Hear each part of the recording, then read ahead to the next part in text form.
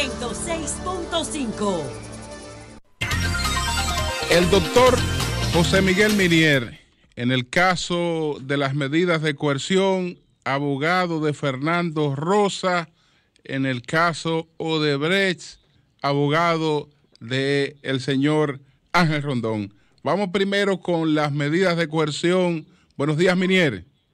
Muy buenos días, Julio Martínez Pozo y demás compañeros de cabina. ¿Cómo califica? buenos días, buenos días. ¿Cómo calificas las decisiones del juez Vargas y en el caso particular de el Fernando Rosa, tu representado? Eh, eh, yo creo que el sistema de justicia eh, a nivel mundial debe estar de luto y llorando lágrimas de sangre con esa decisión. Porque no puede ser que la humanidad haya derramado tanta sangre y vida humana, se han perdido para llegar a tanta fortaleza institucional. Y en pleno siglo XXI, un magistrado de una aplicación como si tuviéramos en la Edad Media con la convicción del juez. Y me presto a, explicarle. El sistema de justicia es un sistema que tenemos nosotros, un sistema adversarial. El juez no puede poner más de lo que el fiscal le pide. Nunca. Nunca. Eh, a menos que esté pidiendo, por ejemplo, un homicidio y en el desarrollo del juicio se ve que es un asesinato y le dice, no, esta calificación que ha dado él el Ministerio Público errada, eso es asesinato porque hay premeditación y acechanza. Eh, se aplaza la audiencia, es como asesinato que se va a jugar para que preparen los medios de defensa. Miren lo que hizo el juez ayer, por ejemplo, a lo que le dio prisión domiciliaria. Grillete eh, a, a, a pidiendo solamente el, el, el, el fiscal prisión domiciliaria por encima de eso. Pero eso, eso se llama, ¿verdad, Minier? Estrapetí. Sí, no, pero eso no es nada. Usted va, ustedes se van a sorprender con lo que, con los detalles que yo le voy a decir del juicio. El abogado de pagar le dice, magistrado, hay que tener cuidado. Eh, eh, eh, nuestro cliente tiene una afección coronaria y el COVID en la y el COVID con la prisión preventiva dice no no pero en la, en la casa en la casa se le puede pegar ya es, eso es sin fallar ya dio un fallo adelantado, que, la cárcel eh, eh, no se pega el COVID. Pero miren otro detalle de ayer. Ese discurso que él tiró estaba preparado, preparado. Todos recuerdan el juicio de Nuremberg, que todo el mundo estuvo de acuerdo que crear una ley para jugar los criminales nazis. ¿De, ¿De dónde nace el principio de legalidad y ley previa? de ese juicio porque dijeron, no, pero esto es grave, señores, que una gente lo condene sin existir una ley previa. El juez Ortega, eh, escúcheme, Vargas ayer dice, es verdad, yo no le puedo tipificar eh, que es funcionario público a ley, pero tráfico influencia, pero eso no está tipificado, sin existir un tipo penal, él le mete tres meses. Pero lo más grave de ese fallo es que son los detalles fíjense y sáquenle punta al lápiz. Ayer estábamos a 8, donde el da fallo. Los tres meses se cumplen el 8 de marzo. Ustedes me dirían a mí, mire, pero son siete días antes que lo puso el primero de marzo, le beneficia a tu cliente. Sí, pero a 48 horas de un presidente rendí cuenta ante el Senado, la Asamblea. Díganme qué juez va a tener el valor cuando se le saque capital político a esa sentencia. A, a poner libertad Nadie pero peor aún para el empresariado que está celebrando y, periodistas que representan empresarios eh, eh, de esa sentencia deben escuchar y grabar esto a partir de hoy. Él abrió una puerta que todos los empresarios que hagan presos, que hagan negocios con el Estado, este juez, con esta decisión. Ustedes se imaginan que decir que no se entregaron unos equipos, que los equipos estaban dañados, que los equipos estaban viejos, sin existir un acta de contratación de eso. Un acta forense. y si existiera el acta de contratación, deben llamar a los abogados contrarios de ese imputado para decir, vamos a verificar esto, a ver si es verdad que tú lo entregas. El empresario que haga negocio con el Estado sabe que estás, tiene un 50% de de caer preso a partir de hoy de esa decisión de ayer. a menos que a partir de hoy tome todas las previsiones posibles de grabar, de buscar el periódico de día cuando lo está entregando, blindarse, como se puede decir. Por ejemplo, en el caso de Fernando Rosa, estoy hablando en sentido general del caso, en el caso de Fernando Rosa. Fernando nada más lo acusaban de cinco cosas, de cinco cosas, de cinco cosas. Y ahí se le desmontó que todo estaba hecho por el librito y que lo tomó es primero un año antes, lo aprueba el consejo, se le depositó el acta de consejo, donde el presupuesto para eso un año antes se aprobó. Segundo, se le demuestra que hay un comité de cómpico y contrataciones de, que Fernando no forma parte en nada, absolutamente en nada. Y dice eh, el, Ministerio Público alega, porque no probó, ahí no hay nada, de que no se entregaron los equipos. Pero ellos lo que tenían que hacer, y a los dos programas de Perdón, doctor, ¿cuál es equipo en ese caso de Fernando? ¿Cuál de, de cinco panaderías, de cinco panaderías. Yo que lo que quiero, por lo quien hizo la denuncia, eh, por lo que está ese expediente, por un reportaje que hizo Nuria, es que agarre esas cinco panaderías y vaya hoy a verificar si están o no están los equipos. Por lo que está Fernando preso tres meses y, y Magali eh, en prisión domiciliaria. Porque eh, no es alegar injusticia, no es alegar hacer drama como hizo Jenny Berenice, que era la dueña de ese tribunal y ese juez se lo permitió. Doctor, usted como abogado de, ella sí usted como abogado de Fernando Rosa, ella era en hecho, en los de esa panadería. ese tribunal, cogía el turno cuando quisiera, hablaba cuando le daba la gana. Por eso yo le pido excusa a la a toda la sociedad dominicana, porque yo en alguna forma fui respetuoso con ella, pero nada más lo ven del lado que ella es mujer. Ella está como fiscal ahí. Entonces ella debe respetar el debido proceso el, lo que se rige en un proceso de un juicio. Entonces, como ella no lo respetaba, yo también tomaba la actitud de ellos, porque eso no puede ser bajo ningún concepto, bajo ningún concepto. Entonces, ¿qué sucede? ¿Cómo que el juez puede ponerle tres meses de prisión a Fernando Ross, a Fernando Ross, cuando no hay ninguna prueba vinculante a eso? Y decirle, eh, porque la OISO, Salud Pública y FOMPER, eh, prejuiciado antes Usted, magistrado Vargas, yo creo que todo el mundo lo quiere, sabe de su, de su seriedad, pero le faltó imparcialidad y objetividad en ese proceso. Le agradezco todos esos piropos que me tiró, pero yo creo que en la forma que usted se condujo, no es la, no es la forma que debe conducirse un juez. ¿Cómo puede ser cuando nosotros le planteamos el bloque de constitucionalidad que declare inconvencionales, porque planteamos un control de convencionabilidad por la Convención Americana de Derechos Humanos, de que declarara inconvencionales, que está en contra de la Convención y nuestro sistema, nuestro país es, signatario y existe lo que es el precedente interamericano. ¿Qué dice la Corte Interamericana? Que por gravedad, por pena imponible, por daño, no se puede poner prisión preventiva, pero más aún ni siquiera por la provisión eh, provisional de la calificación jurídica. Y por eso es que él pone los tres meses de prisión preventiva para todo eso. Entonces, es una verdad. Eh, eh, la justicia a nivel mundial está de luto hoy, de luto, de luto, aunque hay un grupito que está celebrando, porque es una cuestión política para sacarle no, doctor, grupito, no, doctor, el 80% quería que lo metieran preso. Porque la gente no, no, es que ese 80% no conoce esos, procesos, esos procedimientos de, de, de, legalidad que usted está argumentando, doctor.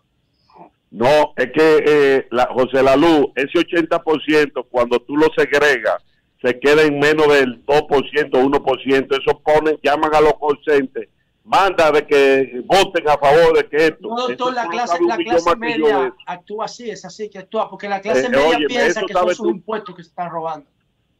no, pero ahí, ahí es la equivocación de ellos.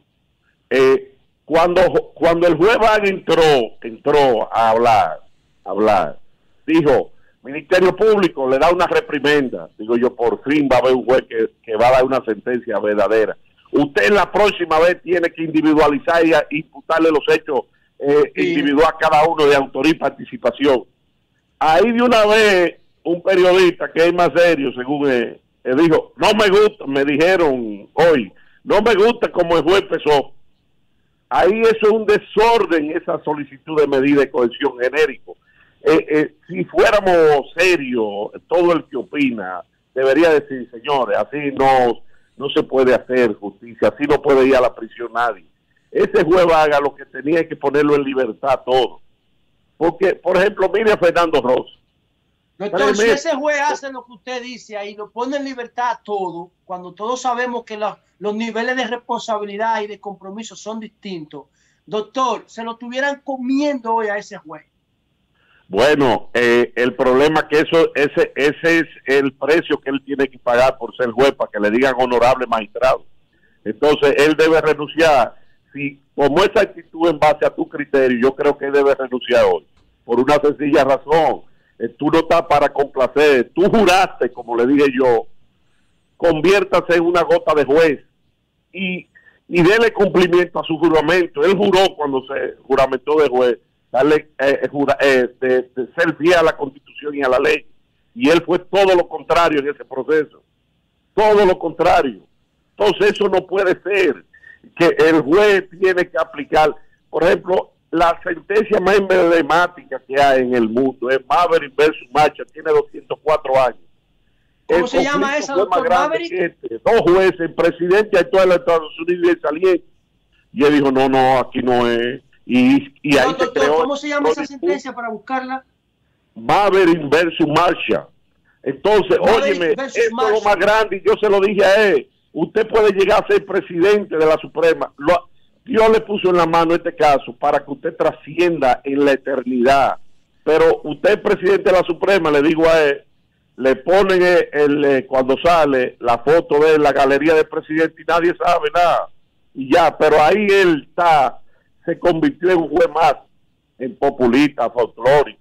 Eso no puede, el juez no es eso, el juez no es eso. El juez está para, para tener que no es una monedita de oro, para querer gustarle a todo el mundo. Eso no es verdad. el juez está para aplicar la ley. Doctor, una, una pregunta, doctor. Cuando usted habla de, cuando usted habla del tema de las pruebas, por ejemplo, que existe el caso de los equipos, que no había que no hubo tiempo para que el Ministerio Público comprobara desde el punto de vista forense si esos equipos se habían entregado o no y se convirtiera eh, la acusación, se sustentara en una prueba legal. Entonces, cuando usted argumenta eso, no, no justifica que el juez tenga que hacer convicción porque no hay prueba. en una solicitud de medida de coerción no hay tiempo para para construir la prueba desde el punto de vista legal. Él tiene que hacerse convicción. No es válida la convicción en la etapa de solicitud de medida de coerción. No, la luz, muy buena pregunta. Óyeme, lo que tú has dado, tú has dado en la diana, como dice. Lo primero es que el juez, el juez, la íntima convicción, eso está erradicado del sistema procesal penal. Eso está erradicado en el mundo entero ya. Eso era cuando la Inquisición y demás, eso está erradicado. Entonces, ¿qué le dice el juez? Óyeme el errado que está ese juez, lo errado, para contestar. Le dice, usted ve, usted magistrada, usted eficaz. Eh, yo creo en lo que dice ahí de su equipo, que no se entregaron, porque la buena fe del, fiscal yo tengo que creer. El fiscal es una parte en el proceso, igual que nosotros. Óigame qué raro ese juez. De, ¿Cómo es que puede decir que cree la buena fe? Entonces nosotros somos la mala fe. Eso no, eso no hay criterio. Entonces, ¿qué tú dices, la luz? Es que no hay tiempo. Sí, hay tiempo. Eh, tienen todo el tiempo del mundo, un año, diez años, cinco años para preparar un expediente, pero el populismo, eh, el espectáculo, los círculos lleva a presentar esos expedientes que no sirven para nada, absolutamente para nada. Ahí no hay una prueba contra Fernando Rosa le demostré con 20, con, la, con el único año que ellos están planteando, que ellos están planteando, que ellos están planteando, del 2016, le leí las conclusiones de la auditoría de la Cámara de Cuentas que dice que no hay irregularidades. Y le digo en el juicio a ese juez magistrado, vamos a cogerle el escenario que le interesa al Ministerio Público y a la sociedad civil, que fue manipular esta auditoría. Y esta de la KPMG, que está entre las tres compañías más grandes de autoría en Estados Unidos, también la manipuló Fernando Ross. Entonces, eso, eso da pena, señores. Eso no puede ser bajo ningún concepto. Y eso debe ser, eh, yo creo que hay que ponerle un costo, un costo. Y el empresario que está haciendo negocio, negocio, que se prepare que va a caer preso en base a esa sentencia, si eh, eso él lo dijo, que nadie puede hacer sentencia. ¿Cómo es que él le dice, por ejemplo, a Domingo Santiano en ese juicio? Eh, yo creo en lo que usted dijo, que usted fue donde Alexia a hacer negocio y le creo en lo que dice Alexis, que usted no hizo negocio. Entonces, ¿qué tipo penal? Y nada, oye, es, a la apreciación de, no es a apreciación de la prueba. ¿Usted se imagina a ese Suriel tres meses preso? Él dice, sí, yo sé que usted fue a buscar negocio, usted es una gente joven, pero sí se fue, no hizo negocio. Tres meses preso. Y eso todo el mundo lo está celebrando el 80%, como tú dices cuando le toca mire, mire este punto, doctor. Este, doctor, este punto para ver, para que usted me dé su valoración como, como experto, usted es uno de los mejores abogados de este país. Eh, el magistrado Vargas dice que en la venta de hace 30, eh, el señor Alexis Medina cobró 500 mil galones y dejó de entregar, es decir, a pesar de que lo cobró, 333 mil. ¿Cómo se cuantificó eso? Eso se explica, eh, es que la certificación, el, juez podía argumentar y plantear ese punto o dejarlo para el juicio de fondo. Pero mira, Oli, esa pregunta sería bueno llamar a Carlos Salcedo, a Tiago Marrero a Eduardo Núñez, que son los abogados. Óyeme, lo que tú estás planteando es que, oye lo que, que tú estás planteando, una eh, así como la, la pregunta de José Lalú anterior. Tú te imaginas eh, Alexis Medina, lo que dice ese juez, eh, va a la otra parte sola, sola, levanta, hace un levantamiento, no se sabe de dónde sacó un AC-30 que tal vez ya se usó, ¿cómo supo que falta eso? Es una loquera, eso, óyeme, eso no es concebible, eso, por Dios. Eso, lo, ¿Cómo puede ser eso cuando el mismo código eh, procesal penal en el artículo 203 en adelante que habla de los peritajes, que es un peritaje, el Ministerio Público en la etapa preparatoria, dice ese mismo artículo, nombra a los peritos, o que nombre un perito, pero debe notificárselo al imputado y decir, mire, estoy nombrando a Olí Mato para hacer este peritaje, tú puedes recusarlo, tú puedes proponer otro perito para que den un informe eh, junto y la opinión por separado, te invitan a que tenga el peritaje, individualmente, eso está como el, el guante de O.J. Simpson cuando lo, lo plantó el policía, el racista. Y eso no es en el fondo, doctor. Se, puso la mano, no era el guante. Descargado, aunque O.J. Simpson haya matado a la mujer. Entonces, así es que nosotros tenemos que ver la cosa. Es que no puede ser. El, este es un sistema adversarial, adversarial. ¿Qué quiere decir eso? Que todo lo que tenga el Ministerio Público debe dárselo al imputado. ¿Pero qué quiere decir eso? que si ellos quieren ocultar alguna prueba, deben ir, como establece el 291, la reserva ante un juez y decir, mire, yo tengo este testigo, yo tengo tal cosa, esto no puedo enseñárselo porque me lo pueden desvirtuar, deme que sea bajo reserva esa prueba. Y el juez emite una sentencia motivada y en el y en, eh, en esa medida cautelar le dice, yo tengo toda esta prueba reservada y, que no se puede eh, eh, salir a la luz pública. Pero no así. Esto es un sistema de doble vía, esto son como la autopista, la carretera que tiene en doble vía. Deben los dos carriles caminar, ahí nada más está caminando un solo carril del Ministerio Público, por Dios. Eh, eh Eury. Eury. Sí. Minier, tú decías ahorita que de las pruebas fundamentales en contra de Fernando Rosa era que no había entregado los instrumentos de cinco panaderías y que supuestamente las panaderías están funcionando. El Ministerio Público decía que no estaban funcionando. O sea, ¿qué decía el Ministerio Público sobre eso? Sí, el Ministerio decía primero que, que Fernando Rosa y Gladys manipularon la, la comparación de precios para que ganara la compañía de Alexi y que no se entregaron. Entonces, ¿qué es lo que debe? La ley se le demostró la comparación de precios de precios referenciales, que no hay ninguna violación. porque señores, la gente cree que eso se hizo. Eh, Alexis Medina fue, o Gladys se lo inventó, eh, vamos a hacer tal cosa. Hay un mandato, que una visita de sorpresa, eh, por ejemplo en Santiago, que hay una panadería de Santiago, eh, y la pide. Entonces eso se somete en, al Consejo del Consejo de Fomper. Y Fomper para el año próximo pone ese presupuesto y se detalla el presupuesto en el Consejo un año antes de la ejecución. Entonces eso va después al Comité de Compra y Contratación. Hacen eso que Fernando no tiene nada que ver con eso. Se ejecuta, se inaugura, se rompe la cinta. Están las fotos depositadas ahí eh, en el tribunal hasta sacerdote hay en, alguna.